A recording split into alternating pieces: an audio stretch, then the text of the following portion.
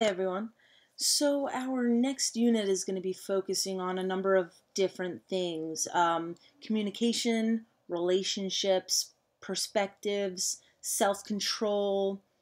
Um, and within those things, we're going to be talking about a lot of interesting subjects. Um, the first thing we're going to be talking about is communication. Now, I could make it boring, put up a PowerPoint presentation, talk about the definition, you know, do all that type of thing. But what I was thinking of, since we're not in school anyway, and with all of this technology stuff coming into light, especially this new Netflix special, this Netflix documentary that came about called The Social Dilemma, I thought, wouldn't it be a good idea to connect communication and technology and what that looks like, what you guys think that means, and how you think it either affects you or doesn't. Um, and even talking about the past, not even 10 years ago, uh, 10 to 15 years ago, up until now, and those changes. So